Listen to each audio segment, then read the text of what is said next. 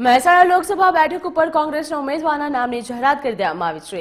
કોંગ્રેસે ભાજપના હરિભાઈ પટેલ સામે ક્ષત્રિય સમાજના અગ્રણી રામજી ઠાકોરને મેદાને ઉતાર્યા છે. તરેટી ગામના વતની રામજીભાઈ ઠાકોરની સત્રે સમાજ, ઠાકોર સમાજમાં સેવાભાવી વ્યક્તિ તરીકે ગણના થાય છે.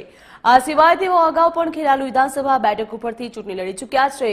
તો બીજી તરફ વિજાપુર વિધાનસભાના પેટા ચૂંટણીમાં ભાજપના સીજે ચાવડા સામે કોંગ્રેસ તરફથી દિનેશ પટેલના નામની જાહેરાત કરવામાં આવી હતી. તો હવે ટૂંક સમયમાં કોંગ્રેસ હાઈકમાન્ડ દ્વારા આ બંને નામોની સત્તાવાર રીતે જાહેરાત કરવામાં આવશે.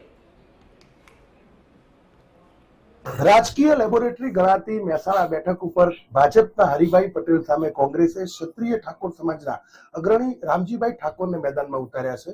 રામજીભાઈ ઠાકોર મહેસાણા તાલુકાના ટરેટી ગામના વતની છે અને તેઓ વિધાનસભાની ખેરાલુ બેઠક ઉપર ચૂંટણી લડી ચૂક્યા છે. આ તેમનો ચૂંટણી લડવાનો બીજો અનુભવ છે. ક્ષત્રિય સમાજમાં સેવાભાવી વ્યક્તિ તરીકે ઓળખ ધરાવતા રામજીભાઈની કોંગ્રેસ દ્વારા પસંદગી કરવામાં આવી છે. આપણે રામજીભાઈ પાસે જાણવાનો પ્રયાસ કરીએ. રામજીભાઈ, તમારી પસંદગીનું કારણ શું અને આપણે મતદારો સમક્ષ કેવી રીતે જઈશું? સૌપ્રથમ તો કોંગ્રેસના મોડી મંડળ અમારા પ્રદેશ અધ્યક્ષ શ્રી શક્તિસિંહ ગોયલ સાહેબ, અમારા ભરતસિંહ સોલંકી સાહેબ, જગદીશભાઈ ઠાકોર સાહેબ, અમિતભાઈ ચાવડા સાહેબ, શૈલેષભાઈ પરમાર સાહેબ, હિમાંશુભાઈ પ્રભારી અમારા અને જિલ્લાના મોડી મંડળ હસમુખભાઈ રામજીભાઈ જે રીતે મહેસાણાનું ગણિત છે ક્ષત્રિય ઠાકોર મતદારો ત્યારબાદ પાટીદાર મતદારો. એક તરફ ચોરાશી કડવા પાટીદાર સમાજના ભાજપના ઉમેદવાર મેદાનમાં છે. તો આપણું ગણિત શું છે? રાજકીય જે લેબોરેટરી ગણાય છે મહેસાણા મતદારોને આપણે કેવી રીતે આપણી તરફ ખેંચીશું?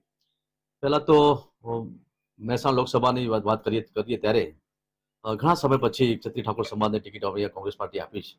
એટલે પહેલા તો મતદારોનું જે વિભાજન હતું જે અમારે ડાયવર્ટ હતું, એ- અમે એવું કરી શકીશું. અને પાટીદાર વર્સિસ ઠાકોર છે એ તો રહેવાનું જ છે, કોંગ્રેસ પાર્ટીમાં, ભાજપ કોંગ્રેસમાં તો. પણ અમારી કોંગ્રેસની વિચારધારા એક અલગ છે એ તમામ સમાજો સાથે લઈ ચાલવાની વિચારધારા છે. લાંબા સમયથી મહેસાણા બેઠક માટે કોકડું ગૂંચવાયું હતું. છેક મોડે મોડે કોકડું ઉકેલાયું છે, ઘણા નામ આવ્યા. તો આપની પસંદગીનું કારણ શું?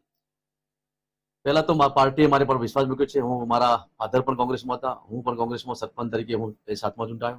ત્યારબાદ વફા- વફાદારીપૂર્વક પાર્ટીએ મને કેરાલુમાં વિધાનસભાની ચૂંટણી લડવા માટે મોકો આપ્યો. ત્યાં પણ પૂરી વિશ્વાસથી, ઈમાનદારીથી ઇલેક્શન લડે અને ત્યાં ખૂબ સારું પરિણામ લાવ્યો છું. કોઈ જાતિ જ્ઞાતિના સમીકરણને બાજુમાં મૂકી, પરંતુ લોકોનો સાચા પ્રશ્ન તેઓ લોકો સમક્ષ મત માગવા જશે અને તેમને વિશ્વાસ છે કે મહેસાણાના મતદારો તેમની પર ભરોસો મૂકશે. કમલેશ રાવલ ટીવી થર્ટીન હકથી ગુજરાતી મહેસાણા.